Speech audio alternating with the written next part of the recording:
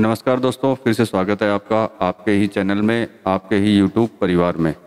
तो आज मैं आपको भाव नहीं दे पाया था, क्योंकि आज भी मुझे किसी तरह के बड़ी इलायची के भाव मुझे सिलीगुड़ी और गुवाहाटी से मिले नहीं, इसलिए भाव नहीं दे पाया। तो अपन आज चर्चा करेंगे, लेकिन अगर आप चैनल पर नए हैं दोस्तों तो चैनल को सब्सक्राइब कर लीजिएगा। वीडियो पसंद आए तो लाइक कर दीजिएगा। आपको लगता हो वीडियो शेयर करने के लायक है लायक है तो शेयर करना बिल्कुल भी मत भूलिएगा।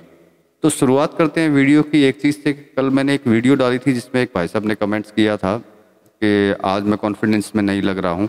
और कुछ कमेंट्स ऐसे आए थे कि हम आपके ही भरोसे पे बैठे हुए हैं। तो पहले इन दो कमेंट्स की बात कर देता हूँ कि कल जो मैंने वीडियो बनाई थी, उसमें कॉन्फिडेंस नहीं दिखाई दे रहा था, उसका कारण बता देता हूँ कि तीन दिन से मुझे फीवर है। मेरे पाँव में इन्फेक्शन हो रखा है, उसकी वजह से फीवर है। फिर भी मैं वीडियो बनाने की कोशिश कर रहा हूँ और बना करके आपको डाल रहा हूँ आपको अपडेट भी कर रहा हूँ।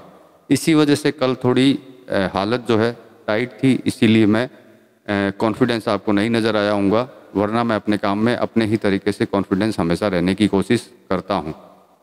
सेकंड जो आप बोल रहे थे, मेरे भरोसे पे हैं आप, जो इसका भी, जिनका भी कमेंट था भाई साहब का तो उनको स्पेशली बोल देना चाहता हूँ, देखिए मेरे भरोसे रहने की ज़रूरत नहीं है आपको आपको, आपके पास भी अच्छा खासा दिमाग है, और मेरे वीडियो जब आप देखते हैं तो सारे निष्कर्ष जो हैं, वीडियो देख करके आप खुद निकाल सकते हैं कि आपको बड़ी इलायची में क्या करना चाहिए और क्या नहीं करना चाहिए। अब तीसरी बात ये कर लेते हैं कि मंदी, जिसको आप बार बार बार बार बार बार मंदी मंदी मंदी करके बोल रहे हैं। तो देखिए, अभी तक भी ये मंदी की कगार पे बड़ी इलायची नहीं पहुँची है। ये आपको बार बार बोल रहा हूँ, फिर मैं आपको बोल रहा हूँ कि बड़ी इलायची अभी भी मंदी के कगार पर नहीं पहुँची है। करेक्शन के ऊपर चल रही है ये, और ये करेक्शन ही आ रहे हैं। और ये मंदी क्यों आ रही है, ये आप अच्छी तरह जान सकते हैं। मेरे वीडियो नहीं देखे हो तो आपको सारे वीडियो याद दिला देता हूँ कि कहीं से भी किसी तरह की कोई फ़सल बाज़ार में नहीं आई और ना ही अभी कोई आने के कोई चांसेस लग रहे हैं। फिर भी ये मंदी क्यों आ रही है बाज़ार में और क्यों लाई जा रही है? तो इतना दिमाग आप में आप कुछ समझ सकते हैं कि बहुत सारी बातें होती हैं जो मैं खुल करके आपको नहीं बता सकता, लेकिन आपको बताने की कोशिश कर सकता हूँ, समझाने की कोशिश कर सकता हूँ कि ये मंदी क्यों चल रही है। रही सिलीगुड़ी और गुवाहाटी के भाव की बात तो देखिए, माल कम होगा या फिर बेचना नहीं चाह रहे होंगे, हर आदमी को तेज़ी पसंद है, आप तेज़ी मंदी में काम करते हैं तो आपको भी तेज़ी मंदी पसंद है तो भैया तेज़ी मंदी सबको पसंद होगी। शायद इस वजह से भाव नहीं दे रहे हों। लेकिन मंदी की इसमें किसी तरह की कोई बात नहीं चल रही है, और सबसे बड़ी चीज़ ये बोल देता हूँ कि जो भी मेरे वीडियो देखता है और मेरे भरोसे पे ख़रीदता है तो खाली मेरी बातों को गौर करे वो, उससे निष्कर्ष वो खुद निकाल लेगा कि उसको ख़रीदनी चाहिए या बेच देनी चाहिए। और सबसे बड़ी चीज़ बोल देता हूँ, बड़ी इलायची के अंदर जो आपको हमेशा याद रखनी चाहिए, स्पेशली उन लोगों के लिए जो तेज़ी मंदी के साथ में खेल रहे हैं।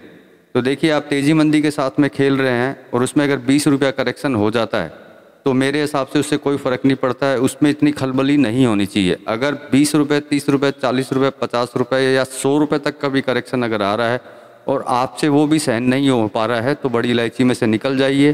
क्योंकि बड़ी इलायची सिर्फ़ उन लोगों के लिए है आज के समय में, आज के टाइम पे जो आज सिचुएशन चल रही है, जो लंबा खेल सकता है, लंबी रेस का घोड़ा है, जो इसको लेकर के आगे चल सकता है, वही बड़ी इलायची में आगे काम कर सकता है। अगर आपको डे टू डे काम करना है तो आप डेली खरीदिए, डेली बेच दीजिए और तेज़ी मंदी से आप निकल जाइए। क्योंकि तेज़ी मंदी में रहेंगे तो ये डेली ऊपर या नीचे आएगी, उससे आपके दिलों की धड़कनें बढ़ेंगी तो ऐसा काम करने से तो हमें नहीं लगता कोई उचित होता है कि जिसे डेली की दिल की धड़कनें उठें, या फिर रात को नींद ना आए। तो ऐसा काम करने से फ़ायदा नहीं है। लंबी रेस का घोड़ा बन करके बड़ी इलायची का काम करना चाहते हैं या कर रहे हैं तो आपको मेरे हिसाब से सोचने की ज़रूरत नहीं है, क्योंकि ये मैं नहीं बोलता हूँ। ये जो पिछले वीडियोज़ हैं, जो मेरी इन्फॉर्मेशन है, वो सारी बोल रही है कि मंदी हमें इसमें कहीं नज़र नहीं आ रही। आपको शायद नज़र आ रही है, क्योंकि आपको बीस तीस रुपया भी मंदी नज़र आता है। पिछले सारे वीडियो में हर जगह की, चाहे वो आसाम हो, नेपाल हो, अरुणाचल हो, हर जगह के बारे में मैंने आपको बताया कि किस तरह की फ़सल है, किस तरह की फ़सल है और कब आने वाली है। और किस तरह की फ़सल जो आई थी, जिसके बारे में भी बताया, जो डुप्लीकेट इलायची थी, जिसके बारे में भी बताया कि वो उस फ़सल के नाम पे बोला जा रहा था कि नई फ़सल आ रही है। तो आप खुद सोच सकते हैं कि ये तेज़ी में है या मंदी में है, या आगे तेज़ी रहेगी या नहीं रहेगी। मैं सिर्फ़ आपको अपना विचार दे सकता हूँ, अपना अपना जानकारी दे सकता हूँ, अपनी इन्फॉर्मेशन दे सकता हूँ, सोचना और करना, वो आपके हाथ में आप अपने विचार खुद ले सकते हैं, विचार आप खुद कर सकते हैं कि आगे क्या रहने वाला है।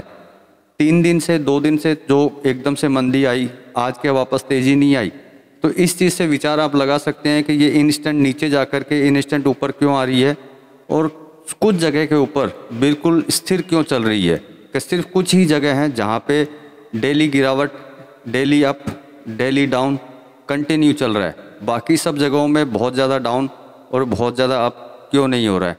ये खुद आप विचार कर सकते हैं, उसमें कोई दो राय नहीं है।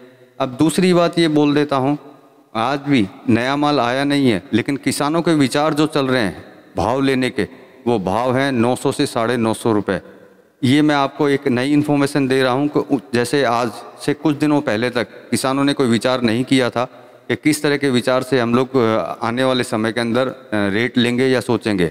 मेरे पास कुछ कुछ जगह से इन्फॉर्मेशन आई हैं कि उनके टारगेट चल रहे हैं 900 से साढ़े नौ सौ रुपये में वो माल बेचेंगे स्पॉट पे। तो आप सोच सकते हैं, जब स्पॉट पे वो जब 900 साढ़े नौ सौ रुपया माल बेचेंगे तो किस हिसाब से मंदी आएगी मुझे समझ में नहीं आ रही है। फिर भी अगर आप लोगों को ये दस बीस रुपये का करेक्शन सौ रुपये का करेक्शन आपको मंदी नज़र आता है तो आप तेज़ी मंदी का काम छोड़ करके आपको जहाँ मुनाफा लगता हो, वहीं मुनाफा लेकर के फटाफट निकल जाइए, क्योंकि इसमें वही खेलेगा जो लंबा चलेगा। प्रजेंट टाइम की सिचुएशन को लेकर के लंबे टाइम की रेस के घोड़े की तरह आपको चलना होगा और आपको इंतज़ार करना होगा, क्योंकि तेज़ी मंदी में खेल रहे हैं तो इंतज़ार में ही तेज़ी मंदी खेली जाती है। डेली की डेली डेली की डेली इंट्राडे नहीं खेला जाता। बाकी आपका विचार है, आपका सोचना है, भाव आज भी नहीं है मेरे पास में। अगर कल आएँगे तो भाव आपको ज़रूर दूँगा। ये मेरा एक विचार था, क्योंकि दिन भर से बहुत सारे व्हाट्सएप पे मैसेज, कॉल यूट्यूब पे मैसेज, सभी आ रहे थे कि आपने वीडियो नहीं बनाया, आपने भाव नहीं दिया। तो मैंने अपना आज भाव नहीं, होने के बाद मैं अपना विचार रख दिया। अब आपके ऊपर डिपेंड करता है कि आपको क्या करना चाहिए, इसमें रहना चाहिए, या फिर इससे निकल जाना चाहिए।